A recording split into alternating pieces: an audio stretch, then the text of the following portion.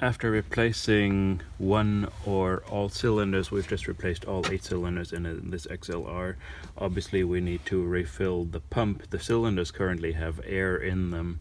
Um, normally you don't want to fill the pump above the maximum line because there has to be a certain volume of air in here for the reservoir to breathe. When the cylinders retract, they actually uh, put more fluid into the reservoir and uh, if you normally fill above the maximum line then uh, you create pressure in the reservoir that'll blow out the oil seal to the um, electric motor eventually.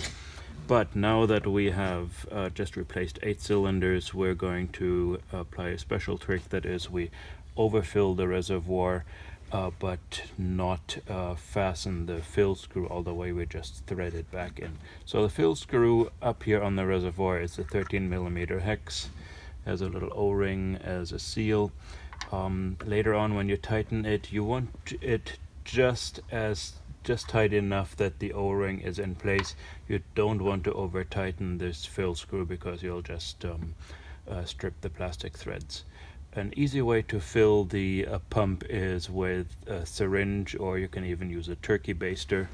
Um, I have here our favorite fluid, uh, Mercedes fluid um, 0009899103 or Febi 02615 and I have a two ounce syringe that I already stuck in here and filled up with this fluid and I will just um, put a couple of ounces of fluid in here.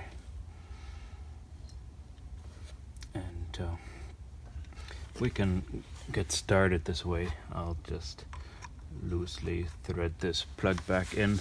Now we will uh, put the luggage divider back in and start cycling the system uh, the fluid will go into the cylinder, cylinders will expel air back into the reservoir, the fluid level will go down and we will have to refill it at least once uh, during the first uh, cycle and then we'll cycle the top another three times or so um, to um, ultimately get the fluid level right.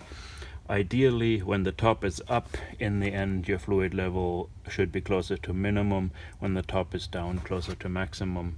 And again, as I said, it'll take several cycles to get all the air out of the cylinders for you to finally adjust the fluid level to where it should be. So we will run the top now, cycle it. Um, this will be enough fluid to do almost a full cycle and we will have to refill and um, cycle it a few more times and then do the final adjustment. And um, one thing you want to watch out for is you don't want to run this pump for more than a couple full cycles without a break because that poor little electric motor made in China will overheat eventually if you uh, keep running the pump.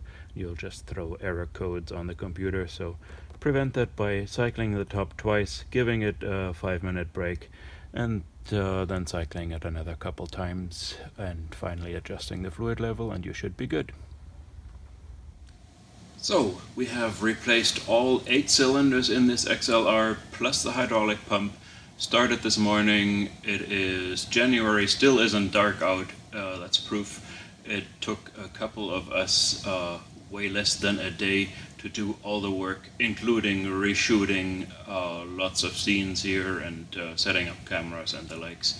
So um, with all this detail, um, it should tell you that if you're good with your hands and you um, are detail oriented, you can pretty easily uh, swap the whole hydraulic system, that is all eight cylinders and the pump, in a day or at least a weekend if you want to uh, go at it slowly and um, have this convertible top ready to uh, work another 30, 50 years if the car uh, hangs in there that long.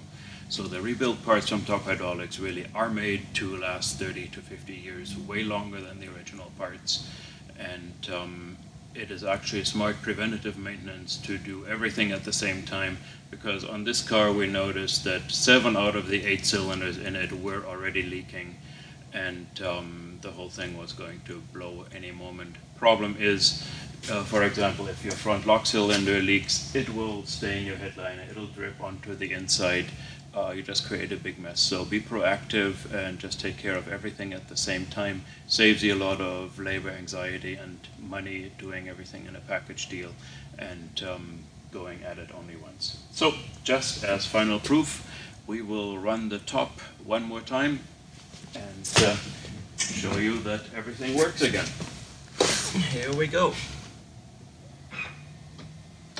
So the front is unlocking, the front tonneau lock cover is lifting, the trunk lid is lifting. Next we will see the rear tonneau cover. Um, first we see the top coming down. Then once the top is down, the rear tonneau cover will um, extend to basically extend the trunk lid. Then the uh, trunk lid goes down right after this uh, front tonneau cover has flipped and uh, with the top is down.